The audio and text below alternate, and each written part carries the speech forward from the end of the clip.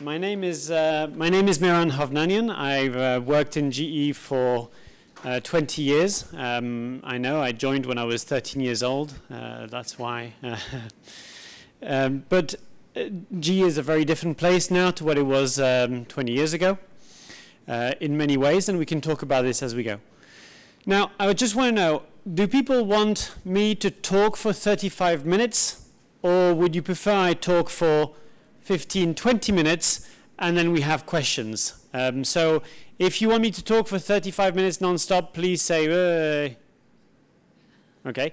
If you want me to talk for 15 minutes and then questions, say, Ugh. okay. If you want me to not talk at all, say, Ugh. oh, thank heavens. Right, so So let me tell you a, um, a, bit of background, and I'll start a, a little way back. I'm, I'm French myself. Uh, I pretend to be English just to adapt better. I've moved here in 94 to study artificial intelligence at the University of Manchester, uh, which was a great time and a great course. And then I moved in 98 to, to work in GE. Now, I'm an Excel addict. Um, you know, I'm recovering. I'm, I'm taking classes and I'm working hard. Uh, but my, my passion for collecting data started when I was very young. Uh, when I was about uh, seven years old in the south of France, we'd always look at the speedometer on cars and we'd see which car could go the fastest and all these kind of things. It was really exciting. And I'd compare notes with my sister of who had found the fastest car. And then I had a Mini. My first car was a Mini, a, a real Mini. Um, and that used to lose oil endlessly, so I'd always list how much oil to fuel I'd have to put in, and I'd keep lists. And I've since kept a list of every single repairs I've done in all of my cars over the last 25 years. Um, it's horrendous when I look at it, but there we go. Um, uh, and, and in fact, and I run only old cars. My car's over there, the little blue one, it's 47 years old. I, I, I have nothing else. So, so the list of repairs is really interesting, and it's an insight into how machines work for a long time. Now, I, I have this because God gave us Microsoft Excel, um, slash Bill Gates, depending what your beliefs are. And I've since kept a list of all the financial transactions I've done, right? Since 2004, I've kept a list of an annotated list of every financial transactions I've done. So uh, just to give you a background, that means about 1,500 pounds a year on uh, restaurants, uh, 5,000 pounds a year on supermarket, and my 13-year-old uh, daughter has cost us over the years 18,000 pounds in activities, not counting supermarket fees and, and nappies. It's very amazing what you can do with Excel. And it's quite frightening. And you can run a small company with Excel, and you can run a big company probably with Excel. But then my brother-in-law and, and you know, eh, to Brutus, I told him to get into IT in 2001. And in 2007, in June, he said to me, what ERP does GE run? And I confidently and maybe arrogantly said SAP and Oracle. And he said, but could you run the company without Outlook and Excel? And I felt like I'd been stabbed in the back by family because the fact is, we can't we pretend we can. We pretend that SAP and Oracle are the main drivers. But in reality, if I was to say to all our users today, hey, you can't have Excel anymore and you can't have Outlook, we're done, you know, and I don't know how good you guys are and how honest you want to be about it, but the fact is that it's very difficult. So, so that shook me to the core. I went three months into hiding. Um, I, uh, I, I, emerged from a cave with long hair and fingernails up to here, and I'm only exaggerating for comedy purposes, but I did really reevaluate all our business operations everywhere and what we do and how much we rely on shadow IT, Microsoft Access databases, Microsoft Excel. It really, it really was quite frightening. Fortunately, I love technology more than I love data and Microsoft Excel. So then we made a recovery afterwards of trying to understand, well, hang on, how can we do it? And instead of forcing people into SAP like I'd done before, what we did was we um, said to them, right, what are you doing? What are you using Excel for? Oh, well, I have an Excel spreadsheet because when we do shipping, we need to find out what's cleared customs and what hasn't cleared customs, and therefore we log this in Excel. Okay, well, let me provide you a small, uh, and, and instead of doing it in Access, we put everything onto Java and Postgres databases, and this is back in 2008, so it was quite, um, well, maybe it wasn't new at the time for you guys, but for us it was quite new to put everything on that cloud centralized infrastructure back in those days was really quite exciting because then we were able to integrate all these little systems with APIs and suddenly we had a kind of shadow MES system but it was owned by the IT team instead of being owned by the shadow IT team. So, so we went on from little success to little success, right? Because, uh, and this is, this is an interesting point, for five years, if I'm honest, and I am honest, I spend my career telling CEOs that in two years I'll have fixed everything, and I'd show them a PowerPoint that said, look, everything's connected. In two years I'll have fixed everything. Can I, oh great, can I not have my face in the background? It just feels a bit disconcerting. So, so and I, I survived like this for five years, just recycling PowerPoints and updating them to, to say actually it's now in two years still, and it was okay.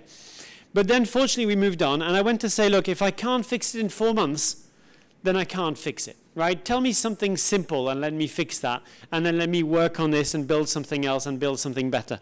And it was good, you know, and I can give examples and we can talk about it afterwards with, with uh, more data as we open up to questions, because it was good. Now, what was, what was very difficult then, and I'll switch to this topic now. There's a big can of worms that the supply chain then gave me, and they gave it to me in the shape of, of this question. Can you tell me how my machine is operating and when it's going to fail? Right? And this is back in 2009, 2010. And as, you, as I said, I have a car, it's 47 years old. I have no idea when it's going to break, but it's going to break. Now, people talk about brilliant factories and they say, oh, yeah, yeah, we can replace all this and put new equipment. But like we heard from Paul earlier and, and other people will, will testify, I'm not going to replace all my machinery just to make it brilliant. Therefore, we need to be able to retrofit equipment onto old machinery, right? Otherwise, we are led to believe that machinery can only last the length of the software on the machine, which frankly is the term of a Windows release, and then you're done because you have to upgrade everything. Now, because measurement and control, we make a lot of sensors, right? So we sense the temperature, the speed, the cabin pressure for all the Boeing airplanes, for all the Airbus airplanes, for the Euro Typhoons. Uh, we, we make uh, ultrasonic equipment. We, in fact, we scan entire aeroplanes. We scan all the prototypes of Porsche. We make all this metrology, and it's all OEM right? We make it, we use it. There's no common platform. So that's the point where I had my common platform for business processes, and we started to think, hang on, can we integrate uh, uh, machines to talk to these business processes? Because what we do at the moment, and I still say at the moment because we do it a lot, and I will get to this at the end of, of my time, and then it'll be your time.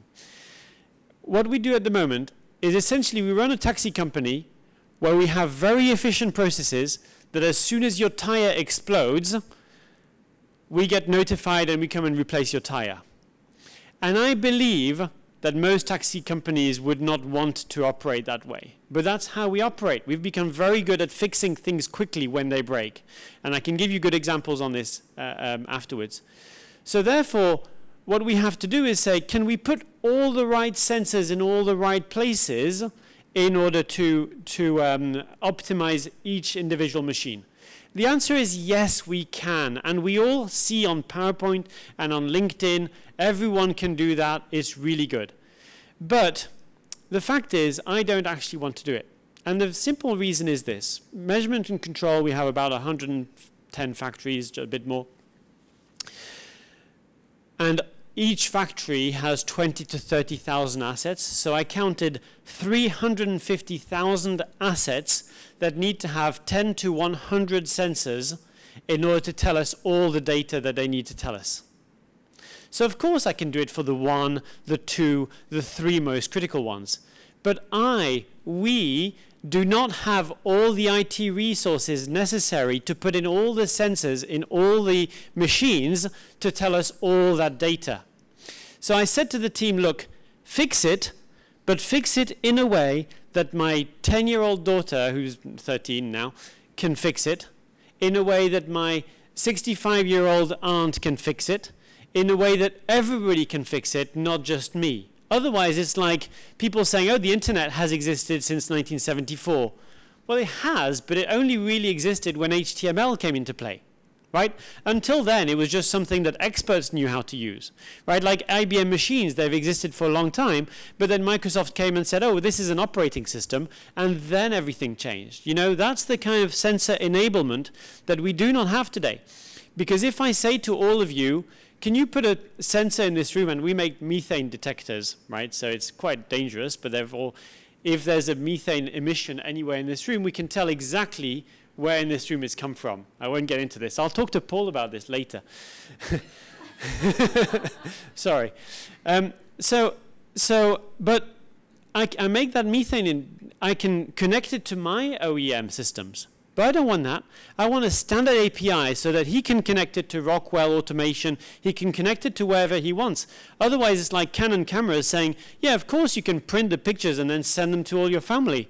But until you have Instagrams or Facebooks, you can't easily share it with your family. You have to know what you're doing, and that's what we're trying to break. And that's what we are breaking one by one. That's the standard architectures that we're putting in. And the sensor connection to the network is the piece that I'm finding most difficult that we're working on the best at the moment. I can go on forever, or you can ask questions. So I think there's a few microphones that are available if anyone has questions. Otherwise, I will proceed with examples.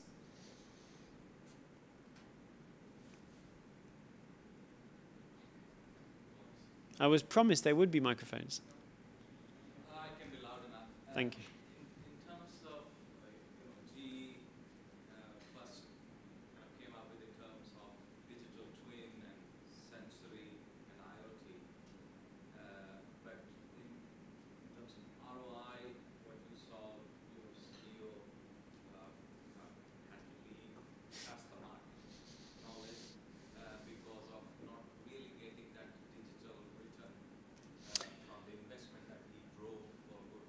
Yeah, yeah, yeah, yeah. What's your take on that? Yeah, yeah, yeah. Have you seen internally that it is really making that proactive revenue of, uh, you know, Right, right, right, right. always on business? Right. There's, I- I only have three measures for IT projects. I want IT projects to be as short as possible and, and on, a, on a real fast works, which means you release a prototype, you improve the prototype until it's a, it's a good product. I only have three measures. Does it increase the top line? Does it reduce the bottom line? Or does it reduce risk? Frankly, there's nothing else. Reduction cycle time is down to the reduction of risk or the increase of top line, those kind of things. Now, it's very difficult, and John Flannery has a much more difficult job than I do. He's paid better, but he has a much more difficult job because he has to try and understand do we create a large digital organization to do it for people? My personal view and the way that it's changing at the moment in GE is to say instead of a big organization in San Ramon that fixes it for everyone, all the local IT teams need to be able to program into that standard platform because then I am collecting, like a vacuum cleaner, all the little Java developers who've been fixing things locally at the factories. And all I'm doing is making them sing in the same key, not even from the same hymn book yet, but to say, look, we're all going to be on Java, we're all going to be on Postgres, we're all going to do this, and this is how we do it. And then what I do is, instead of saying to John, hey, I need a capex of $1.5 billion, and then over the next seven years, I can fix my $5 billion business, which is MNC, is I say to the supply chain team in my current business, look, all the uh, software engineers you have hidden underneath desks, with PCs also underneath desks, that run simple JavaScripts or access databases locally, we're all going to get that to move to a central environment and then do it. Now, we have a couple of large programs in MNC, and uh, you know, we, we do image recognition to the hundreds of terabytes of, of images, right? So one pipeline inspection will be a two uh, terabyte image. And we do a, a, lot of efficiency in terms of uh, image recognition. And because we have 350 full-time analysts who annotate data, we've been able to provide immediate results to the pipeline operators. But that ROI is the biggest question, and my view is always go small. You know, go small and grow afterwards. Um, and I, I have many reasons for which I, I wouldn't go big. John has to go big, though, at different levels because GE is a big company and he has to be able to set the standards for everyone to go ahead. However, Jeff Immelt had one very good key point. He had a lot of good key points, actually, but he had one very good one when he said there's no prize for best function right? And very often, the supply chain would blame the IT team, the IT team would blame the security team, the security team would blame everyone, you know, and no one take responsibility. And we've managed to unify this today. Look, we're not cross-functional. We're just all trying to get better products out of the door faster. So let's put all the problems on the table and fix them together with software, with technology, with better processes, wherever it comes from. Does that answer bits of your question? It doesn't, it doesn't solve GE's problem, but it, it gets there. Anybody else? Yeah?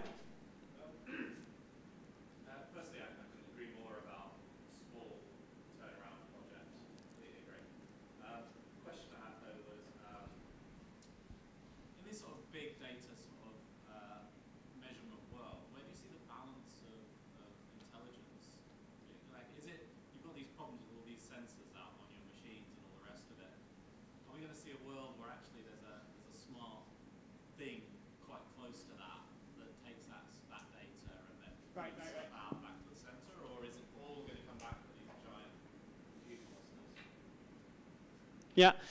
Uh, um, yes and no. Uh, I'll, I'll, uh, I'll cut to the end of this, of, of my opinion, and then you can tell me uh, how, it, how it rings to you. So, so, and again, this is, this is I studied AI, I, I love AI. Um, so, in fact, to tie into Preeti's thing, the, the interesting thing on ROI is this, right? IBM in the 90s beat Kasparov in, uh, you know, the brain's last stand, as the Time magazine put it. And, but they spend $20 million to defeat one guy, right, at a game of chess. So the ROI sucks on, on, on that level. Um, the important thing when you're collecting data and you're trying to make intelligent discussions, decisions, and we can talk about what an intelligent decision is, right? But for example, the aircon in this room senses the, the, the, the temperature and goes up or down depending on what it gets. That's an intelligent decision that, frankly, before would have taken a team of people with chimney places, right? And, and coal moving around. Now, the, in, the important thing in an intelligent decision is a feedback loop, right? So, so you're collecting data. Well, I have to record what the analyst is doing with that data.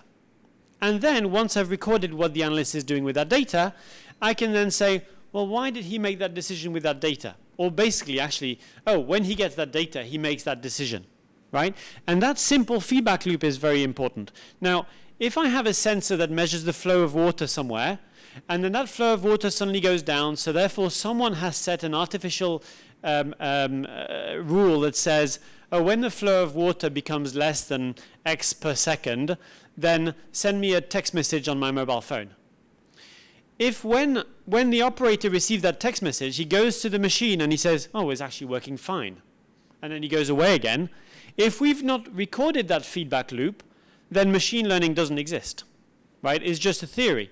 So putting that feedback loop in as many places as possible is what becomes good.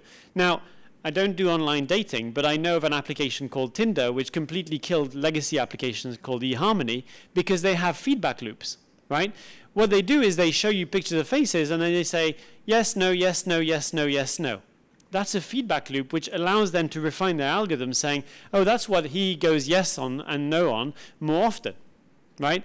And that's a very important thing because before what you had was you had to fill in loads of information and then once you got that information, it said, oh, you have six matches and those kind of things. And that gave no room for an algorithm to make it more clever or faster or provide you with a better scope for what you're looking for.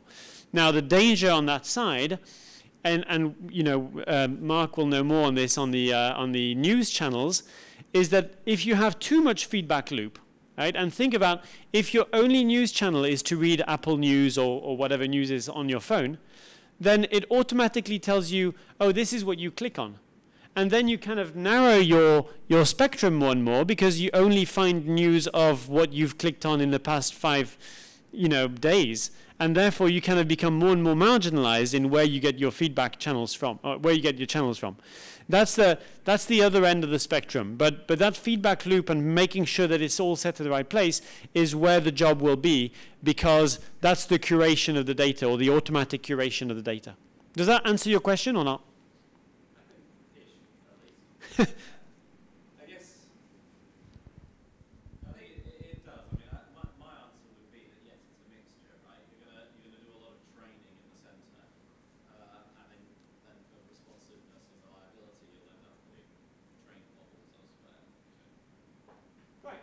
when you said the cruise control, wow, when you said the cruise control on your car, right, that's an intelligent system. Now, I, I had the pleasure of driving a car, I don't have cruise control. I had the pleasure of driving a car in France two weeks ago, which had cruise control, and I could also tap on a button which said, set the cruise control to the speed limit of where I am. So that's the, taking bits of local information and bits of central information to make an overall uh, uh, synchronized strategy right? Now, the, the technology industry is very interesting, and I, I nearly went and I decided not to go for a job at Renault recently because their technology on the cars is absolutely fantastic. On the supply chain, they are exactly where all of us are. It really is not working as easily on, on place. But their product is very uh, uh, technology enabled. Sorry, I, I diverted a little bit because it's quite an interesting topic. Anybody else? Get, go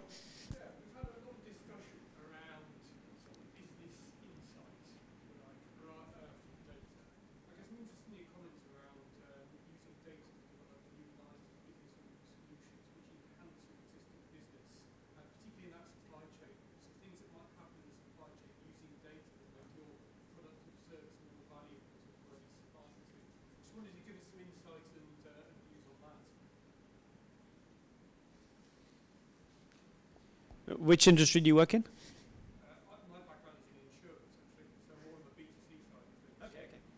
Um, um, uh, yeah, usage of data, data insights to improve the products. So, so. Uh,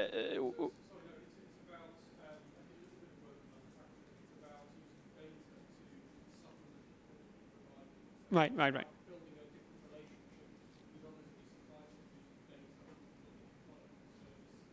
Right. Um, um, as a quick show of hand, how many of you use the products that you and your company sell? Right? So kind of 50-50. It's a very important uh, uh, topic because um, uh, very often we don't use the products that we sell. And therefore, we have to spend a lot of time with our customers to understand how they use our products. Now, in, in Shannon um, manufacturing site, we have a, a flow of uh, a flow of water going into a, a microfilter. Um, um, I think there's a there's a five microns, then a 15 microns, then a 45 microns microfilter, and then it, it comes with very clean water on the other side that uh, that will um, be used to cut ceramic plates for X-ray machines.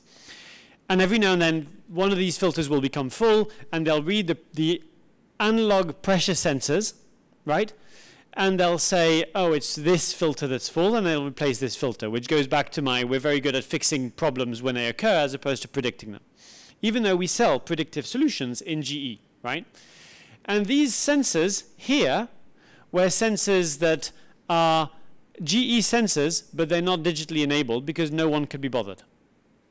So how can we believe in our product if we're not selling it? You know, we're still using the analog, and we're saying to everyone, oh, go digital right? So, so now, what we did was therefore we replaced these with digital products. We worked on time series data, which is a whole new topic because it's a fantastic, you know, some companies need the data. Like if you're looking at nitrate detector on soil, we were talking about intelligent farming, you don't need that by the microsecond. Whereas if you're talking about the speed of an airplane, you do need that every microsecond.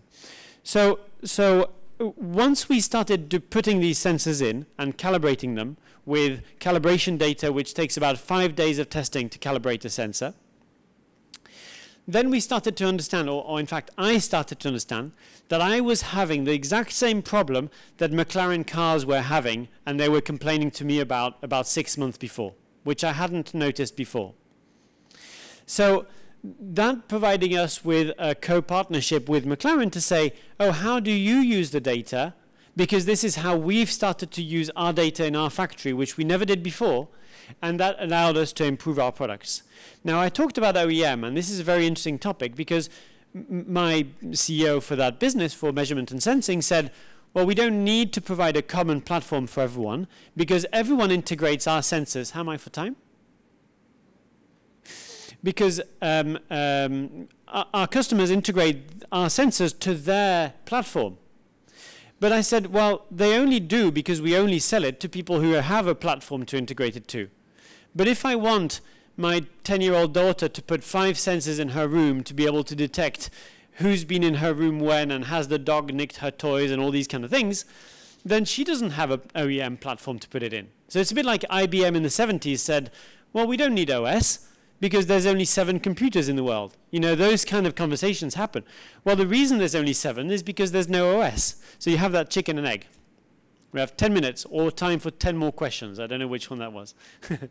so, so uh, um, uh, sorry, just tying back to your to your question a little bit, right? And and again, um, please ask more.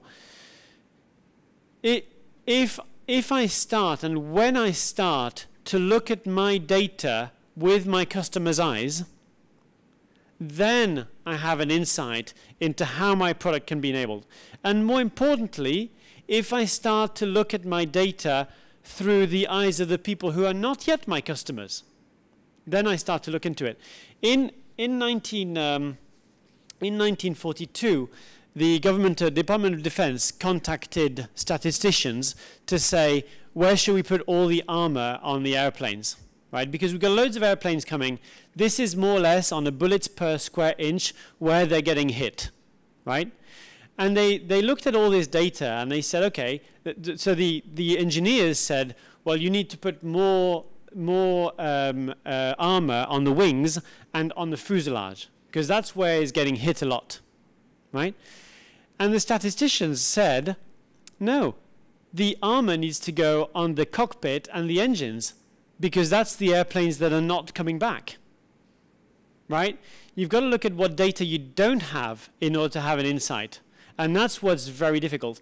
I was talking to the guys at GE Healthcare who do um, uh, scanning of brains for, for Alzheimer's, right? And they're trying to, to put data together for Alzheimer's.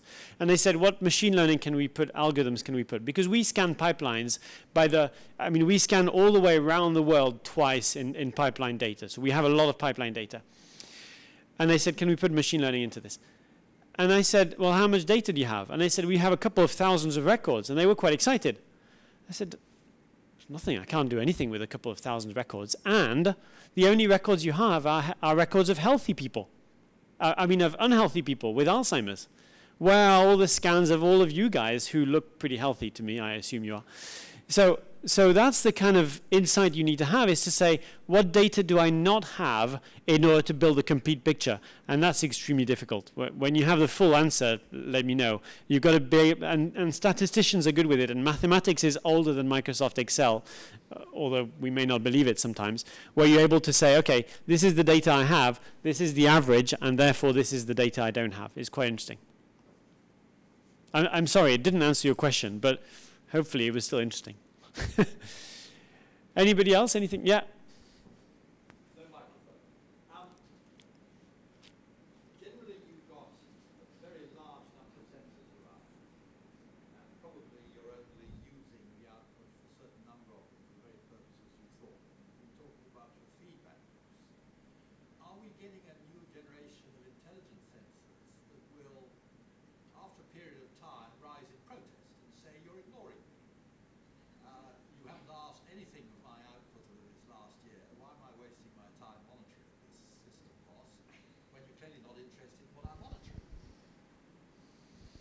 And, and then Skynet becomes self-aware, and, and then we're all in trouble. Um, that's an interesting point. Uh, um, I hope so. Um, you know, the, the, so Uber is a is a it depends who you ask. They're either a platform company or a taxi company, depending which department you ask. Um, and they um, they suddenly realized. So they, if you have Uber, then you've accepted their terms and conditions, which means that you have given them all the data from your phone. Which means that they charge you more if your battery is over 4%, is under 4%. They know you're desperate. They know you're going to accept it, right? Now, obviously, at some point, someone in Uber said, hang on, there's data coming in there of percentage of battery, and we're doing nothing with it. But I've noticed from looking at all the other patterns that the people who have a low battery are more ready to accept a fair surcharge. So therefore, why don't we give a fair surcharge to people who have low battery? You're all going to Google this later. I, yeah, it's good fun. And it's a really interesting thing. Now, obviously, they do use more things with their data. Like, for example, if they know there's a train coming, if they know there's a train coming, then they send spare taxis towards that train station. Now, black cabs will tell you, well, we know that when the trains are coming, and we know when the match finishes, and but the consistency and reliability of the right sensor data will give you that edge, that competitive edge, which is why Uber is at 85% utilization of their taxis when black cabs are around 50%. You know, and it's a huge difference. So, so you're right. Now, will these sensors be able to tell me? Um, no. Obviously, a sensor is just sending an analog resistance, so they'll only tell me what I ask them. Um, uh, do we have, I mean, and this is where curating data is going to become a very big full-time job. Will we have more data curators and data scientists and data engineers than we have analysts at present? I don't know, maybe. You know, hopefully we'll solve bigger problems with those data scientists than we do with all the drivers and all the analysts that we have currently. But in theory, yeah.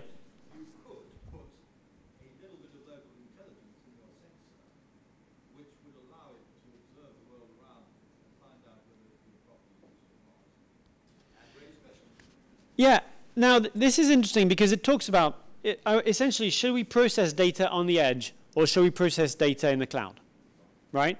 Um, and that's why I found it very interesting. And it was a it was a Citroen DS7, if you're vaguely interested, where it had some data locally of me wanting to set my cruise control, and some data centrally of this is the speed that you should be doing here you know? And in fact some data locally because it took a, a, a, read it takes a reading of all the the speed signs in order to tell you something that's not marked in the cloud but that's marked locally. So so what sensor makes the decision is always an interesting point. Obviously on an airplane the captain is always in control in theory. So therefore he has the right to, to take all the decisions and to overrule all the decisions. But that'll be an interesting topic for the next 100 years for sure Uh, do I have time for one more question or not? Not sure where I'm up to. Two minutes or two more questions of one minute each.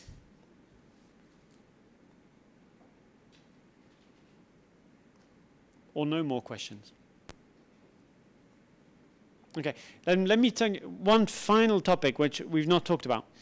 The, the interesting thing about sensor data and the thing where I go back to my, you know, I used to fix everything with PowerPoint, and it was brilliant for a few years until I got bored or caught out, depending how you see it. No, bored because I'm still in G. They would have fired me. Um, so, so um, uh, is that the data is analog, right? Let's never forget this. The data is analog of of what is the pressure measurement here, what is the wind speed there, is analog data. How you transfer it to digital is a protocol that has not been written yet because it changes bit by bit, place by place.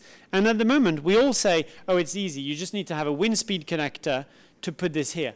It's only easy if you have an expert. It's like creating a web page in 1985. It's easy if you have huge binary skills and all sorts of pre-HTML skills. The protocols for sensors to network are still to be written. Now, we'll write them if we have the time, or hopefully somebody else will write it for us and we'll just be able to use them. But that's an interesting point that we're currently hard working on to make that analog to digital transformation quickly because that time series data is, it looks easy on PowerPoint or you just get the wind speed, but it really is a resistance connector somewhere that needs to send meaningful data to the right place. I hope that makes sense. I hope it doesn't generate more questions because I think we're out of time. Thank you for your time. I'm available later.